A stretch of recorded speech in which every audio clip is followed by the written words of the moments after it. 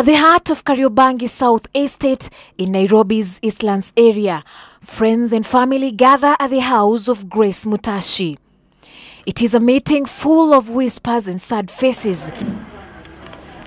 Each one trying to come to terms with the sudden death of 21 year old Frederick Ochieng, who plunged to his death after calling for an elevator and instead fell into the shaft from the second floor of a Nairobi building on Monday morning.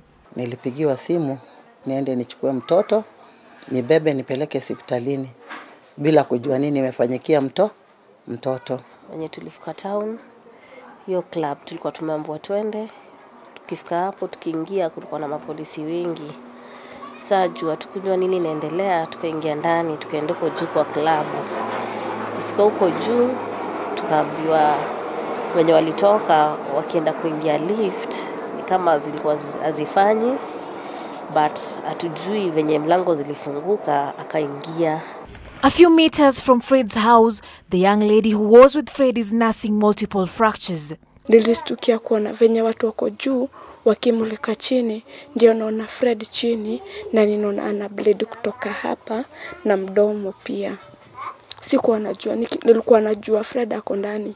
Mudhoni says there was no warning that the lift was not working properly. Ukienda kuingia unaona ya kuna giza, lakini unaona hiyo lift nika iko na kitu, lakini hakuna kitu. Ukiingia ni unaenda kwa umeanguka chini. lift ilikuwa ijaandikwa kitu ati note of boundaries nini nini lift ilikuwa tu just na ina show ina move At Interfina House along Tom Mboya Street, where the incident happened, we sought to find out the condition of the lifts. From the second floor where the fall happened, the red light on the buttons indicate movement. After a few tries, we were informed by a resident that they were faulty. But there was no sign or notice indicating the same. From the basement, the situation is the same. An unsuspecting person would easily go Fred's way. Frederick and Mudhoni fell three floors down from the second floor, landing at the bottom of the building in an area full of steel and dirt. Dry blood, the remaining evidence of the pain the two went through. Our efforts to trace the management of this building were futile as their offices, located on the ground floor, were locked.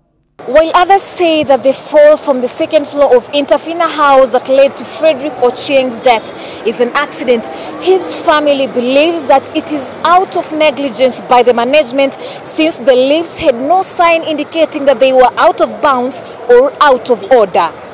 Masi Juma, NTV, Nairobi.